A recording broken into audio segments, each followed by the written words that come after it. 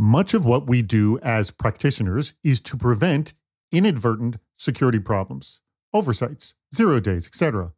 What about inherent and unavoidable problems when the very design of the thing requires a lack of security? What do you do then? You're listening to Defense in Depth. Welcome to Defense in Depth. My name is David Spark. I am the producer of the CISO series. Joining me, as always, is Allan Alford. Allan, everyone loves that that opening sound of your voice, so let's hear it. Howdy, y'all. There you go. You know he's a Texan. We're available at CISOseries.com. We are on the subreddit of uh, CISO series. By the way, if you follow the cybersecurity subreddit, every Friday I am dropping the best or the most important, interesting five cybersecurity stories of the week as told on Cybersecurity Headlines, which is our daily show, six minutes every weekday at 6 a.m. Eastern. Please register for that and register for our weekly video chats. The one tomorrow, if you're listening to this on the day it was dropped, the 17th, the one tomorrow is our last one of the entire year 2020. And this is our last episode of 2020. So go to CISOseries.com, click on register for video chats to join us, and that'll be Hacking the Crown Jewels. All right. Our sponsor for today's episode, Allan, is F5. They have been an awesome sponsor. In fact, they've also sponsored one of our video chats as well. And they are responsible for bringing our sponsored guest today. Set us up. What are we going to be talking about? We're going to be talking about intentionally vulnerable by design. What does that mean? Yeah, so I gave a couple of examples in my post. I was thinking through all of those moments where you sort of have to compromise security intentionally. And the best one I could think of was a password reset page. You're straight off the bat with a password reset page, basically saying, We've got a compromised security state here. We're going to go through a, somewhat sketchy process and get you back to rights. And then in theory, it's you and it's your new password and everything is back to rights. But there's some risk there at that moment loyalty programs where the passwords are non-existent or they're simple or they're retrievable anything else where identity is basically loosely established all of those little moments i asked what are we doing about these how do we deal with these because it's the weak link i didn't mention it in my post but in the video game industry uh, online video game realms you know steam and battle.net and all these guys every time you hear about a good hack the hack was almost always by way of the password reset function Yes. And by the way, that is just some examples. Some are more very just basically concrete, like we have to accept credit cards to make business and getting that information and trying to secure it is just the mechanism we need to run business. Anyway, the person that's going to help us walk through this discussion is from F5. It is Dan Woods, VP of the Shape Intelligence Center. Dan, thank you so much for joining us. Thank you for having me. I'm looking forward to the conversation. What's the situation? Jason Dance of Greenwich Associates said anything that requires you to identify a specific person should require secure validation. Seems pretty basic, kind of what you were referencing, Allan. And Duncan Hart of Cyber Risk Quant said, quote, one of the those trade-offs is deciding how many security incidents is the right number of incidents for your business. That number can't be unbounded and it can't be zero either, as zero probably means you've overspent on protection. And lastly, Jonathan Waltrip of Insight Global said, quote, we don't protect everything as strictly as our closest held secrets. That's too expensive to maintain. Like what Duncan said, we find balance. Having a car stolen is a terrible thing, but a hundred years of a car driving and we still have one lock and one key. We don't need biometrics, passwords, and how fast do you accelerate to judge if you're authorized driver or not. Now, I, I would question Jonathan's comment because there are some alternative ways to open up a car. Allan, they are just talking about identity, but also finding what is that balance of you need, you know, inherently you're going to have some insecurity. How much do you handle?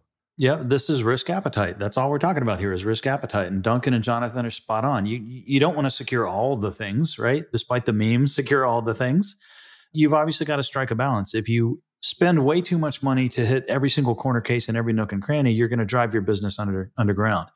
So I, I, think risk appetite is a key component to this conversation. I think that should be there. And to Jason's point, identity for me is, is absolutely critical to this whole process as well, especially when we start to talk about these these moments when things are getting a little dicier, things are getting a little riskier. It's all about identity. And I, so I, I think risk appetite and identity kind of are the the bookends for this conversation. All right. Dan, do me a favor. Are we thinking about this subject broad enough in that should we only be focused on identity or should we be looking broader? Definitely much more broadly. Uh, a couple of the inherent vulnerabilities I heard mentioned so far are indeed inherent vulnerabilities, but we've missed the main one, and that is uh, the login application. For an enterprise to be able to allow their customers to create accounts, log into those accounts, of course, uh, reset passwords, maybe add a credit card, do all sorts of things. They need to have a public facing login application. And that by itself makes them vulnerable to credential stuffing attacks, where a bad actor is just going to try millions, even billions of username password pairs against the login application. And because of the way people reuse their passwords, we're seeing these credential stuffing attacks result in account takeover anywhere from 0.1 to 3% of the time. So that is the primary uh, inherent vulnerability. Hold it, wait. 0.1 to 3% of all logins are credential stuffing attacks? No, actually, we've seen 99% of all logins be credential stuffing attacks at many enterprises. So luckily we're blocking a lot of them. So so what's the 0.1 to 3%? That is the login success rate of the attacker. Ah. So yeah, that's so, a little too high. 0.1 yeah. is too high. yeah, yeah, it's very high. When you're trying hundreds of millions or even billions of username password pairs and you have a 0.1 to 3% login success rate, you're compromising a lot of accounts. And so now your defense in depth situation must go into overdrive at that point. But I think what I like, which the way you presented this is you you got to. I'm gonna I'm gonna give you crap here, Allan. You went far too far in the weeds to begin with. Dan here is pointing out that the just basics one needs to operate a business online makes you inherently vulnerable. I mean, that's really yeah. the headline here, right? Yeah, that initial that initial login page. I hadn't thought about that one, but that's that's exactly right because password reset is adjunct to that. That initial login, create the account, go through the exercise and do the initial. That's absolutely. It has to be there. It may be MFA, it may not, but it has to be there and it's definitely an attack surface. And we've even noticed that MFA doesn't always stop credential stuffing. It certainly makes ATO harder, but most implementations of MFA, if you enter in the incorrect password, you're told incorrect password or username. If you enter in the correct username or password, then and only then are you asked for your second factor of authentication. So that tells the attacker the information that he's seeking. Is a username and password correct? Admittedly, ATO is harder with multi factor authentication. It is. But there are many techniques to get around, especially text based and email based uh, MFA, which I suppose we're going to be talking more about during this conversation. If you looked at the problem this way, David Thomas of Computacenter said, Bring truly contextual aware identity and access management to the party. Forget two factor to authenticate a user or system, we must use multiple data points to establish the correct level of trust. And Jason Dance, again of Greenwich Associates, said, I posit that the current design of push based MFA does not have enough information for the recipient to determine what they are approving. How powerful would it be if your push notification said, Did you trigger this action, password reset on this website at this time and date? And then have yes, no buttons, which, by the way, I get that kind of stuff from my credit card company. Dan, this is essentially sort of an automated or AI or intelligent aware MFA rather than the human MFA. Yes? Is that the way to see it? Contextual MFA. Yeah. Well, both David and Jason are thinking about this in precisely the right way. David talking about contextual awareness. We're not just limited to is the username and password correct? If so, then we allow it. At Shape F5, we have what we call continuous authentication. We're looking at how that client does, say, floating point math or a lot of other signals within the client environment. And that, in addition to the username and password, will tell us whether or not it's a legitimate login because we're finding bad actors have the correct username and password.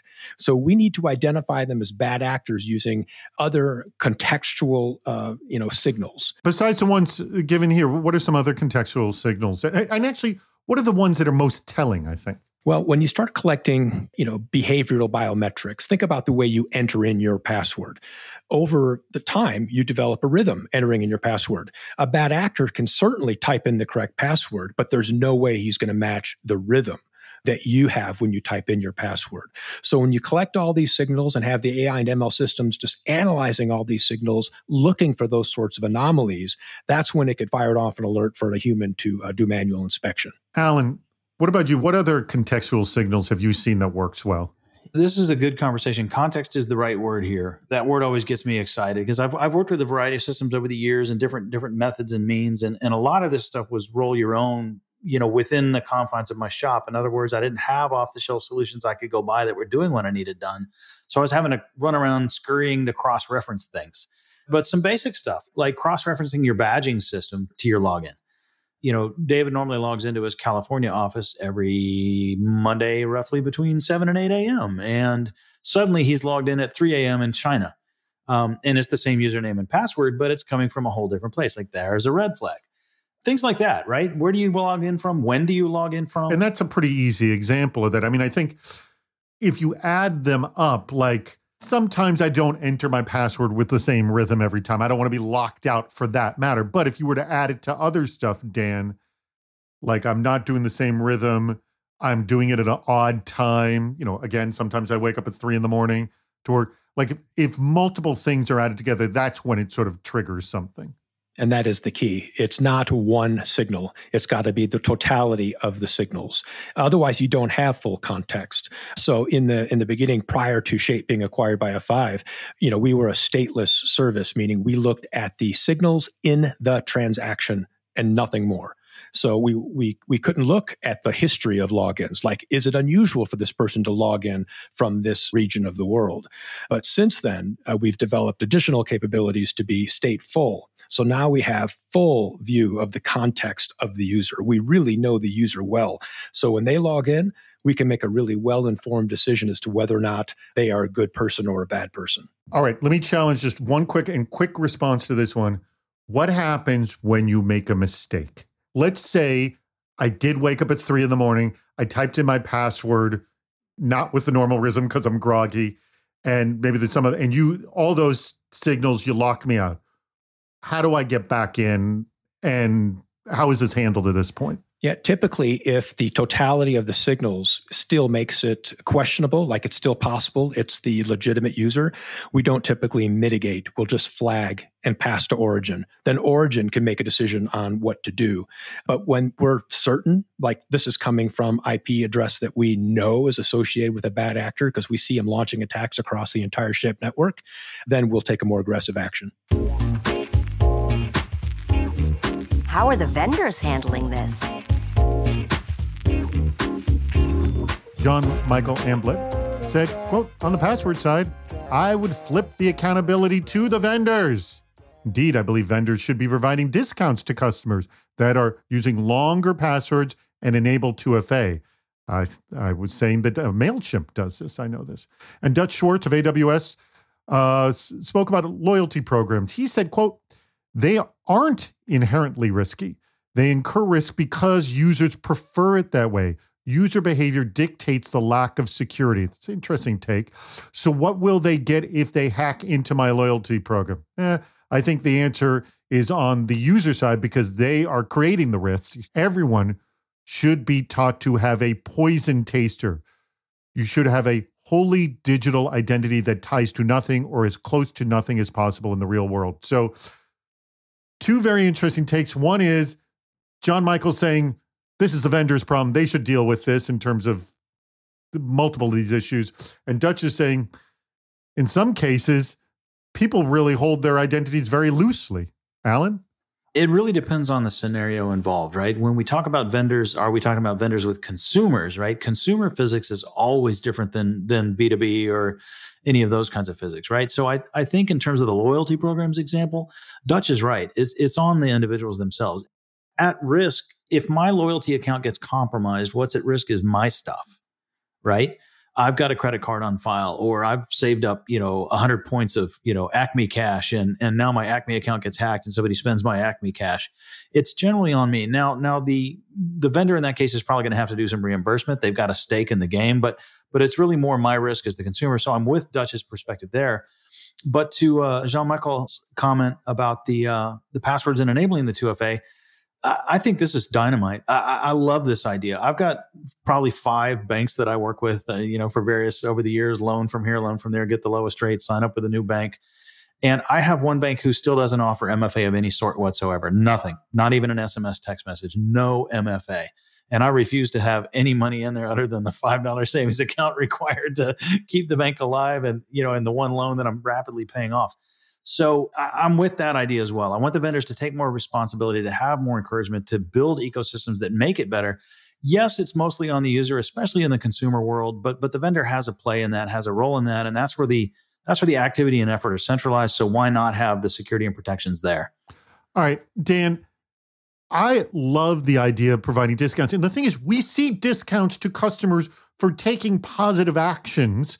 And a positive action of a longer password, 2FA, unique password, whatever it is, would actually save the company money if the individual was more aware of their own security. So this would be like, you know, win-win for everybody. Why don't we see more of this? And do we see more of this? And are, are there other examples? Yeah, I love that idea as well. And we, we do see it in, say, auto insurance. You know, they'll give you a device, you put it in your car, or maybe an app on your phone and uh, you get a discount on your insurance if you are driving safely. So we are seeing these sorts of things, but I haven't seen anybody offer me a discount for using a strong username uh, and password. Uh, I think it's a great idea. On on Dutch's point, I, I need to kind of become a little a little bit more general. Uh, he's talking about specifically ATO into a loyalty account. But that's not the only type of uh, abuse we see on loyalty accounts. So, for example, if you have an account that has some asset, maybe frequent flyer miles or loyalty uh, reward points at some hotel, and the hotel or the airline allow you to move those assets between accounts. And they'll do that oftentimes when for to to help families manage their loyalty points. If they allow that then you're going to see criminal organizations use automation to create tens of thousands of those accounts and then use it for money laundering so it isn't just about taking over a victim's account; it's abusing the loyalty program in such a way that it is, uh, you know, criminal. And money laundering, of course, falls into that category. And we've seen that also, like with like AWS instances where people like abuse people's AWS accounts to just run processing off it, or using what am I saying? Using other people's computers as botnets, for that matter. I mean, we see abuse of other networks, not direct stealing of money, but just using it as sort of a a mechanism to to a greater end. Yeah, we, we see a lot of automated attacks using AWS and other uh, you know hosting providers. Nothing will happen until we take action. Victor G of Growth 2K Enterprises said, quote, it all boils down to comprehensive identity management protocols. Without it, everything is game, which that kind of sums up a lot of things we just said. And Cameron Holzer of IBM said, quote, one piece of the password reset process that I feel gets taken for granted is having access to the email account that receives the link. Email accounts were never intentionally designed to be robust proof of identity. Let me, I'm going to start with you, Dan, on this one. Is it just a giant mistake to be doing identity through email? And so much gets authenticated through email. Yeah, it is through email and through these SMS text messages. There are lots of ways to compromise those accounts. In fact, we have many, many telco customers, and we also have many of these providers of email and they see without fail 80 to 95% automated attack against their login application. That's that's pretty consistent. And it's because these bad actors are targeting those telcos and those email providers to get access to the second factor of authentication or to those critically important password reset notifications. So we are uh, crazy to put all of our eggs in the email or SMS basket. Absolutely. Let me just generally ask you you've referenced you know the the research and what you see at shape would the rest of the public be scared s-less if you will if we knew what you know right now?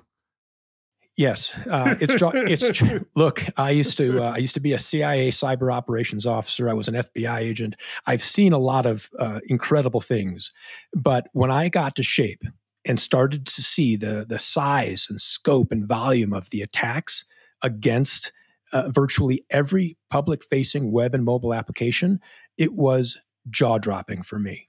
Just jaw dropping, and we see it regularly now. We go in line, look at traffic and it isn't uncommon for us to see 80. We've actually seen 99.99% of all login traffic was attack traffic.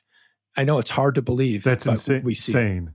That's interesting. There's that much automated insanity going on, and everything else is physical humans. So what you have is a crazy multiple of all the humans that are online doing that Yeah. and I have to admit the the implications of 99% automated attack traffic they're profound. It isn't just about ATO. You don't you have no idea if your marketing dollars are being well spent. Television commercials, email campaigns, they have no measurable impact on the human traffic uh, among the noise of the attack traffic. Think about latency and server performance. Uh, some fraud tools charge per transaction, some CDNs charge per transaction. So 99% automated attack traffic it's profound uh, the implication and the cost. Very good point, Allan. I'm going to throw this to you. Let's going back to the uh, the email discussion. I actually just found a new service that I'm using where there's no username and password. Everything is authenticated through email. So you give them your email address at the beginning, they send you a one time password, and then they have authenticated your system. If you see you go into another system and try to go on, they'll send you another one time password. So every time you try to get on, it's a one time password sent to your email. This seems really easy to break, is it? Yeah, it seems easy to break to me for sure. That's a little frightening. And I'm assuming there's a token issued on a per device basis. So yes, if you stay on the same yeah. device, you're running off a token, and at some point right. that resets. Multiple but, times I go back, you know, like it's a cookie or something. Yeah, yes. yeah, yeah. But any kind of email or SMS as the crux of the matter, anything where the entire identity is hinging on one of those two is bad, bad, bad, bad, bad, bad, bad have complex passwords, randomly generate them, you know, modify them, lengthen them, make them as horrible and painful as they can be, keep them in a password vault, change them frequently, change them often, use identity and access management every place you can. And then to Dan's point, context is king from there, right? You've got to have strong context to better understand what's going on. And if you're the consumer talking about doing these things with your bank, with your department store, I know it's, you know, holiday season right now, people are shopping like crazy. I just this morning, in fact, this true story, opened my email to click on check the status of my purchase, and it took me to an error page on the company's website. It was a particular department store. I then had to do the password recovery mechanism with them. I got logged in and it said, Greetings, Dohan. I wasn't Allan, I was Dohan. um, so, so clearly relying strictly upon email, you know, something squirrely went wrong. I'm going to assume that one was an innocent, that it was just a screw up in the database. But this idea that email equals identity is is an atrocious idea to me. Well, closing on atrocious ideas, let's let's take to our our best, our favorite quotes from the uh, from this discussion today. I'll begin with you, Allan. I always ask you first. What was your favorite quote and why? I like Victor G from Growth 2K Enterprises, um, basically saying comprehensive uh, identity management has got to be there. I, I, think that's absolutely right. I think I think that's the core of it, and the beginning of it. Let's get strong identity, and then from there, let's get context, and let's let's knock this thing out of the park. All right, I'll throw this now to you, Dan. Which one was your favorite one? Well, I probably won't pronounce his name properly, but Jean Michael Amblat. I love the idea of offering discounts to incentivize people to use really strong passwords.